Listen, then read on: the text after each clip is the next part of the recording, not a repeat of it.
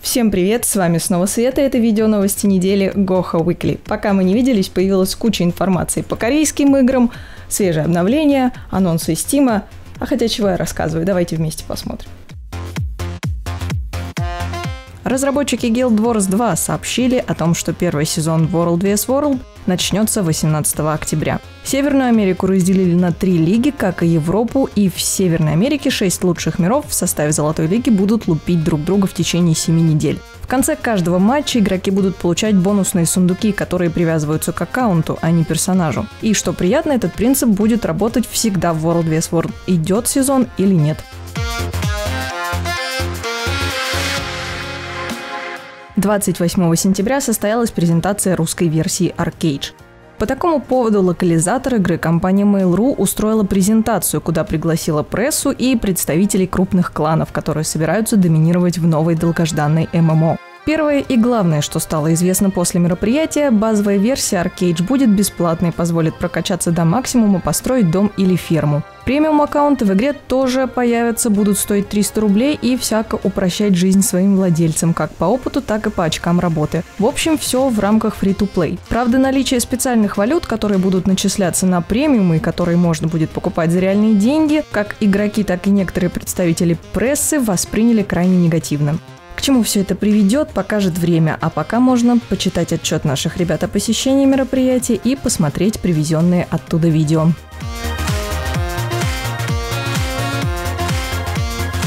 На прошедшей 26 сентября в Корее конференции Black Desert Media Land Party объявили дату проведения первого корейского бета-тестирования игры. Набор участников пройдет с 1 по 10 октября, то есть он уже идет. Само тестирование с 17 по 23 октября. Список того, что можно будет посмотреть и потрогать на первом этапе ЗБТ оказался внушительным. И осады, и ПК ПВП, и система отношений с НПЦ, маунты, дома, уж квестов просто море, больше 250 штук. Кстати, вся информация с конференции есть у нас в специально обновляемой теме в разделе игры. И в соседней теме скриншоты и видео. Все это, кстати, можно найти еще и на нашем фан-сайте blackdesertonline.ru.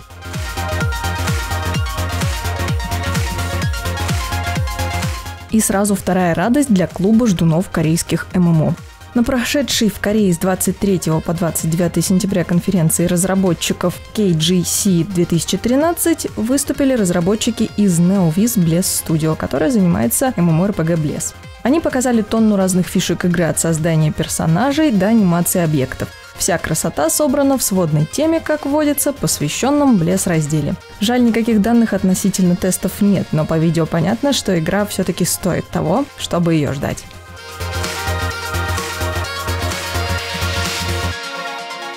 Инсайдерским видео порадовали и разработчики SVTOR. Так они решили популярно рассказать о том, что ждет игроков в обновлении 2.4. 1 октября в игру добавили сюжетную зону Орикон, боевые арены 4 на 4, новые ежедневные задания для 55 уровня, операцию Dread Fortress и Dread Palace, организацию для системы репутации, сеты, маунтов и кучу других интересностей.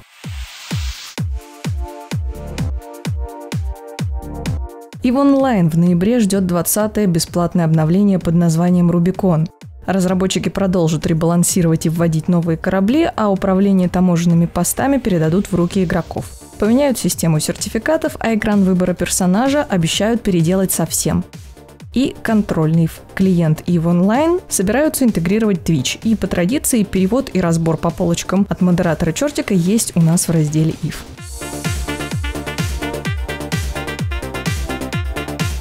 Новость для линейщиков, давно не бравших в руки шашку. Расчехляйте пушки, началась регистрация на участие в Almighty Championship, которая продлится до 7 октября. С 7 по 14 октября проверка команд и 14 старт. В четвертом сезоне формат соревнований открытого турнира будет 7 на 7, а местом проведения станет специальный европейский турнирный сервер.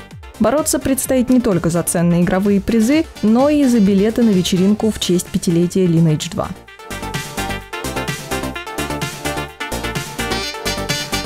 Известный киберспортивный коллектив, если не сказать бренд, Натус Винсеров, содружестве с Virtus.pro анонсировал Лигу чемпионов по Dota 2. По словам руководства Нави, одна из целей организации такого мероприятия – качественно новый уровень онлайн-лиги. Поэтому команды должны выкладываться на полную и получать за это бонусы. А бонусы обещаются нормальные, такие 50 тысяч долларов призового фонда плюс 25% выручки от продажи билетов Dota TV. В турнире примут участие 10 топовых команд России, Европы и США. А первые игры начнутся 16 октября. Подробности, именно и расписание должны появиться в начале месяца.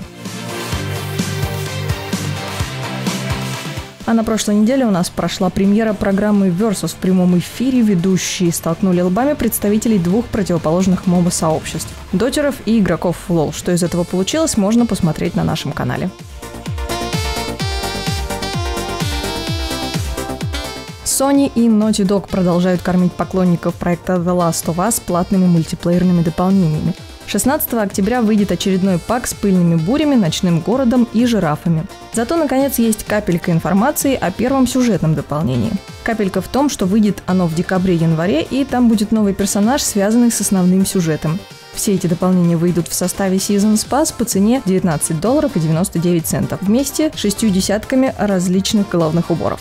Кроме того, оказалось, разработчики не шутили, когда говорили о возможной альтернативной концовке. Оказывается, игра могла закончиться музыкальной сценой мюзиклом с участием Элли и Джоэла. Вот был бы разрыв шаблона. Пусть то, что употреблял творческий директор Нил Даркман, останется неизвестным, но сцену альтернативной концовки, когда герои вдруг начинают петь, все-таки сняли. Ценители серьезных сцен, расслабьтесь. Все-таки то, что исполнитель роли Джоэла, актер Трой Бейкер, не подозревал о смене сценария, подсказывает, что все это все-таки творческий эксперимент или попросту шутка.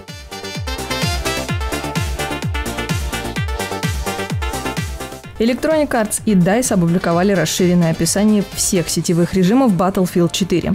От тотальной войны в режиме захват до лихорадочных перестрелок в совершенно новом истреблении. Любителям пострелять обещают еще более увлекательный и разнообразный мультиплеер в 7 сетевых режимах на 10 уровнях. Запуск планируется 1 октября в форме ограниченного доступа, а с 4 числа влиться в перестрелку смогут все желающие.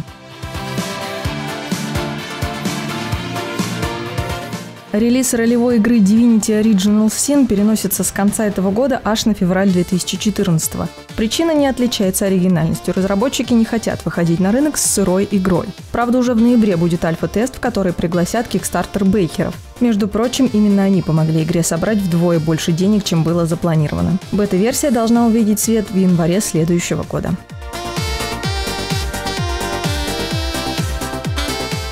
На мобильных устройствах теперь можно поиграть в Shadowrun Returns, тактическую киберпанк RPG про сплетение магии и технологий в мрачном будущем.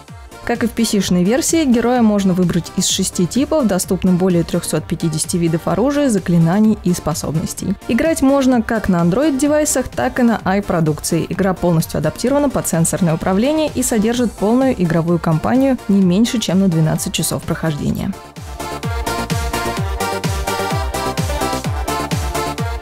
Valve на прошлой неделе закончила серию интригующих анонсов для своей гостиной. Сначала, напомню, была операционка Steam OS, затем консоль Steam Machines и третьим стал анонс оригинального контроллера. Valve в лучших традициях замахнулись на то, что новый девайс сможет полностью заменить клавиатуру и мышь во всех играх Steam, то есть попа поднимать с дивана не будет нужно. Часть этой задачи должны выполнять два больших трекпада, которые по замыслу разработчиков передают множество показателей. Скорость, пороги, текстуры – прямо фантастика. Частично это подтверждают первые появившиеся в сети отзывы западных игроков. Гвоздь в гроб клавиатуры должен забить сенсорный экран в центре контроллера. Он должен быть универсальным меню, когда игрок прикасается к экрану, изображение менюшки вводится поверх игры и можно подтверждать или выбирать действия. Правда, на прототипах, которые уже вовсю жмякают тестеры, экран заменили 4 Кнопки. Даже в старых играх новый контроллер сможет выдавать себя за клаву и мышь благодаря специальному режиму совместимости. А кроме того, политика открытости коснется и разработки контроллера, так что Valve в скорости опубликует инструменты, с помощью которых пользователи смогут принять участие во всех аспектах разработки контроллера, от промышленного дизайна до электротехники. Какие видео, вышедшие на прошлой неделе, стоит посмотреть, если вдруг не посмотрели? Новый трейлер Assassin's Creed 4 Black Flag, в котором нам рассказывают об отдельных важных персонажах игры. Причем среди них есть как исторические, так и выдуманные. Для любителей всяческой жести геймплей хоррора The Evil Within с мероприятия Eurogamer Expo. Игра разрабатывается японцами, так что кровь, кишки и все как надо. И, наконец, 30-минутная демка геймплея Beyond Two Souls для тех, кто не боится спойлеров. Ну и на этом у меня все. Подписывайтесь на наш канал, смотрите новые программы, слушайте новые подкасты, читайте обзоры, участвуйте в форумных баталиях и играйте с удовольствием. Увидимся на следующей неделе после Игромира. Пока-пока.